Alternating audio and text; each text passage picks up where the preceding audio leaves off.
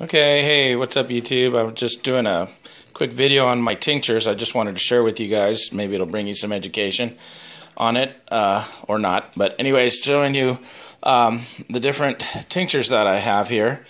Um, this is a tincture that I made here almost 20 days. We're at 19 days right now. I labeled it.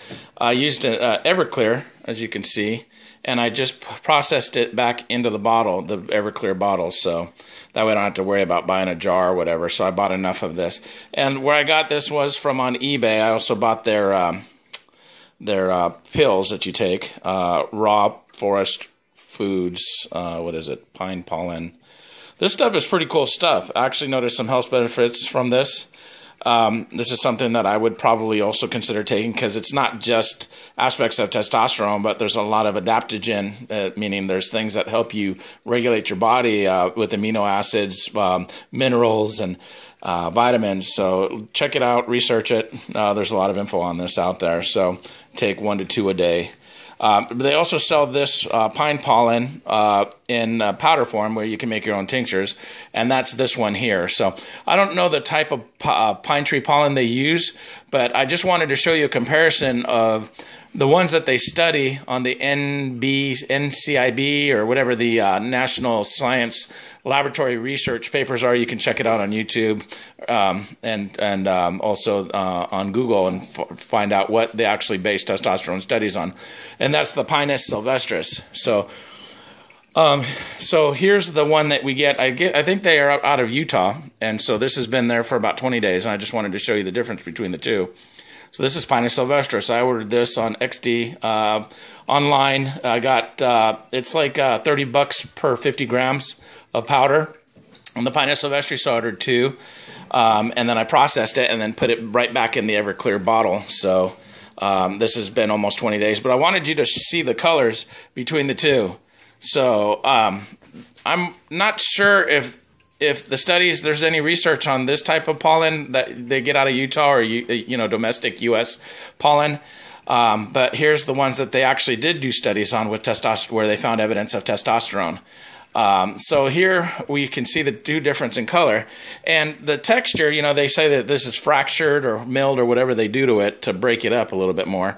So here's this one, and uh, it's been in here, like I said, about 20 days, and you can see that amber color. It's like uh, uh, lighter or piss yellow, and then here's uh, the Sylvestris, uh, which is by comparison you can see is considerably darker. The texture is also different. Um, I don't know, you can see that it's a little bit grainy in there. Um, this one was also supposedly fractured, but you can see the color is a lot darker.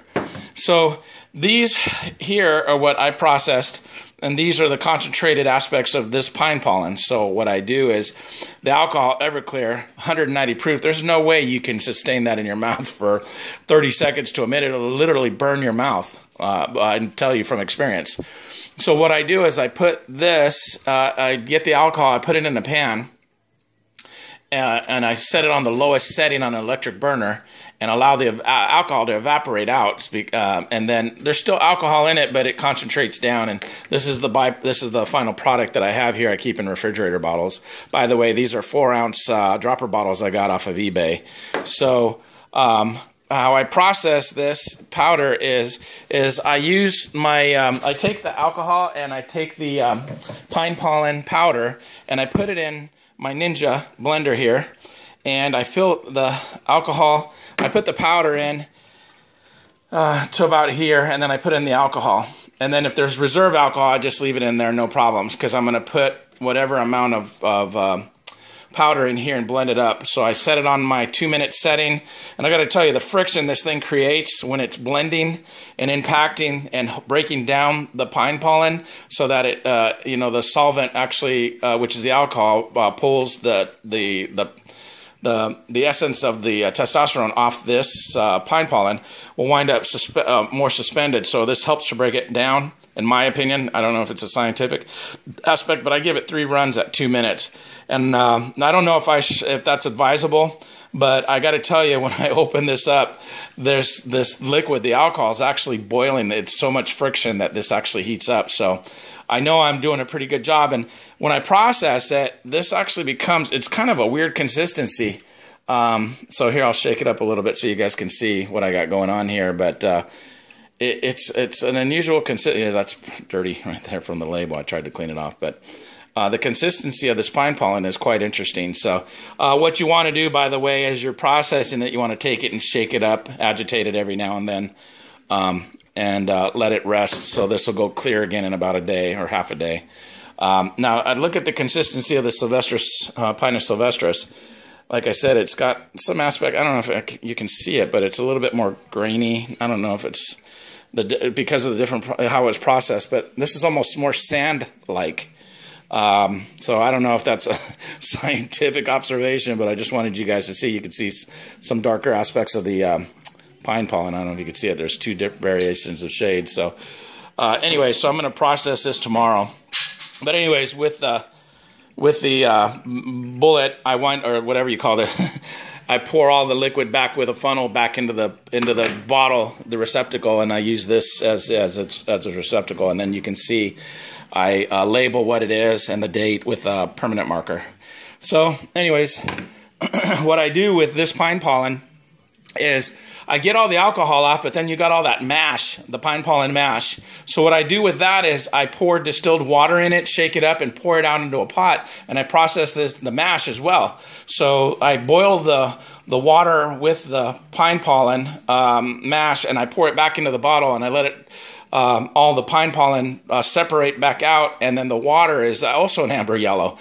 And then you'll notice when you boil it after after you've already done your alcohol tincture, is that the pollen actually goes to a white color. So, in my opinion, that actually processes all the rest of the amber substance from off this pine pollen uh, into the water and it suspends it in the water. Then I take that water, put it back in the pan, and then concentrate the water down so that I can fit all of my stuff into these bottles. So these are concentrated aspects of supposedly testosterone um, tinctures and you put them under your tongue. So you can see I keep these in the fridge and you can see there's still some aspects. So it's this is like the organic version, I guess you want to say, unfiltered.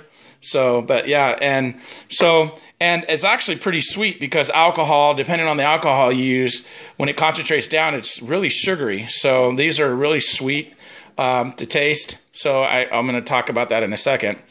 Uh, anyways, so here I have out of Las Vegas eBay. I actually went to their store uh, but they don't really have a storefront. They just process stuff. But these are also the Pinus sylvestris. The only other aspect of Pinus sylvestris I could find in the United States that someone actually manufactures.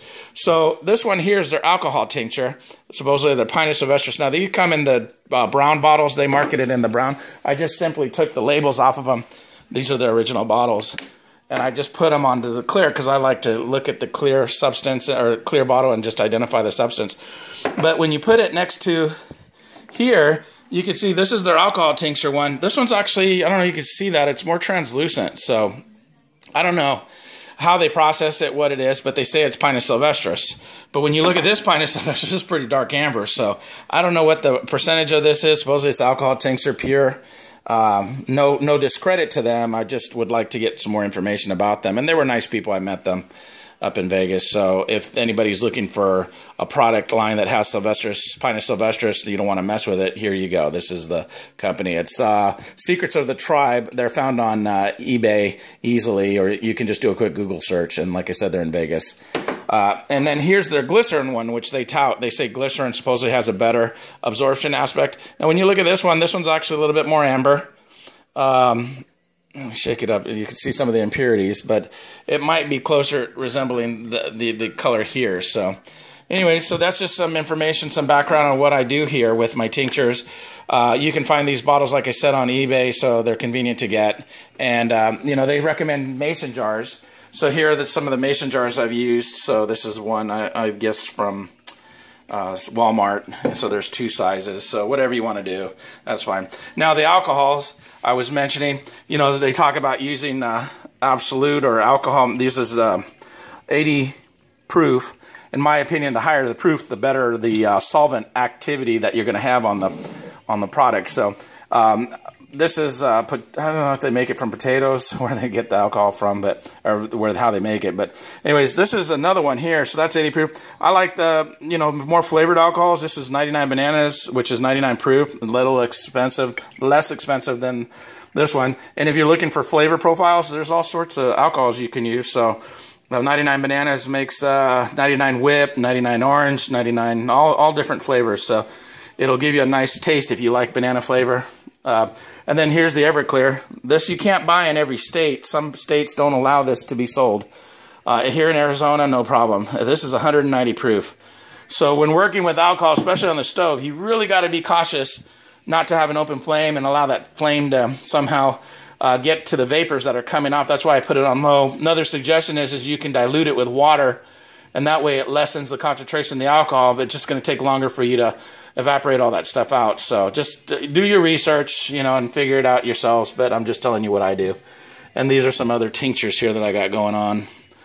This one is very bitter. Uh, this one is, uh, I don't even know what it is. I had it labeled. That's why it's important to label. Uh, this one, I believe, is ginseng. And I set these aside because the flavor profile is extremely bitter. I should have never made tinctures out of this. This one is, uh, oh, this is green tea.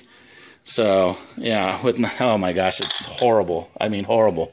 And this one is uh, the terbinafine, I think it is the Tetris terbinafine. I'm not I'm not pronouncing it right, but what they use for testosterone enhancement or to help. So very bitter. Anyways, I hope this video helps you guys. Um, you know, if you have any questions, please don't hesitate to ask. I'll be happy to answer. Good luck, guys.